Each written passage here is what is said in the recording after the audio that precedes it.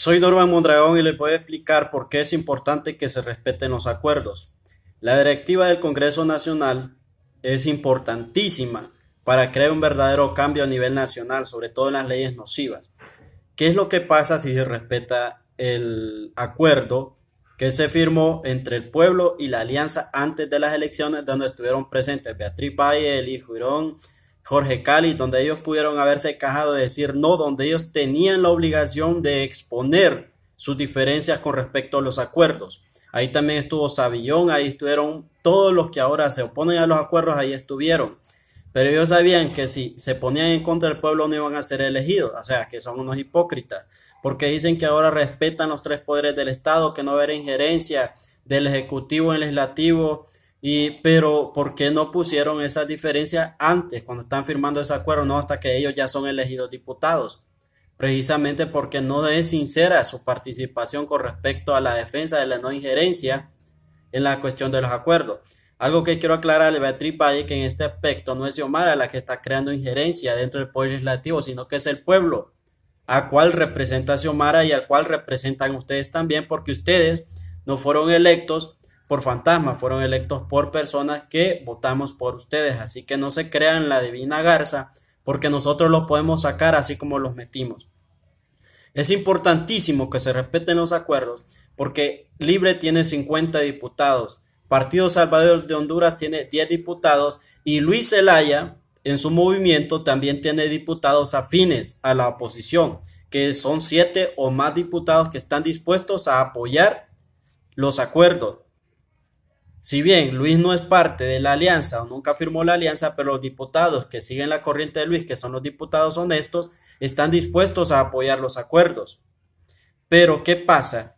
Si Jorge Cáliz caprichoso en su ambición, Beatriz Valle, el hijo Irón, Chele Castro, eh, este Amado de Jesús, este Yahvé Savillón de Comadagua y todos estos ladrones corruptos, infiltrados en libre, se oponen, estarían arriesgando a que la directiva del Congreso Nacional esté compuesta a Jorge como presidente del Congreso Nacional y cachurecos y liberales corruptos también miembros de la directiva. Porque Jorge Cálix, si no respeta el acuerdo, Partido Salvador de Honduras se estuviera absteniendo. ¿Por qué? Porque si vota a favor de Jorge Cálix, estaría votando a favor de Cachureco, porque Jorge Cálix es el marido de, de una muchacha que es sobrina de Hilde Hernández, sobrina política, y también es socia de las sedes, y si no me creen, averigüenlo. Es socia de Complejo Santa María, creo que se llama Residencial Santa María, que será construida en la, en la Tigra. Jorge Cali defiende las sedes.